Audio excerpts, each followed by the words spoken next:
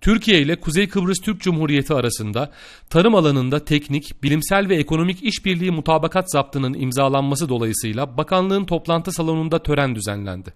Mutabakat zaptını Gıda Tarım ve Hayvancılık Bakanı Ahmet Eşref Fakıbaba ile Kuzey Kıbrıs Türk Cumhuriyeti Tarım ve Doğal Kaynaklar Bakanı Erkut Şahali imzaladı.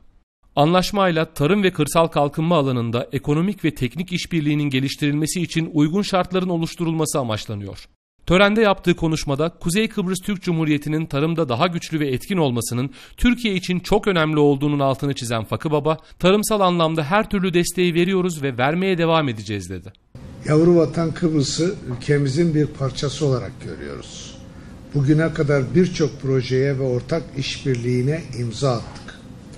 Tarımsal anlamda her türlü desteği veriyoruz ve vermeye devam edeceğiz. Şimdi imza atacağımız anlaşma ile tarımsal işbirliğimiz daha da güçlenecektir. Anlaşmanın her iki ülke için hayırlı olmasını temenni ediyorum. Kuzey Kıbrıs Türk Cumhuriyeti Tarım ve Doğal Kaynaklar Bakanı Erkut Şahali de imzalanan mutabakatla iki ülke arasındaki ilişkilerin ileri boyuta taşınacağını belirtti. Hem bunlarla birlikte kendi ölçeğimizde e, ileri adımları atabilmek hem de ülkemizin tarımsal potansiyelini geliştirirken Türkiye deneyiminden ve teknik ve mali yardımlarından faydalanmak bizler açısından son derece önemli.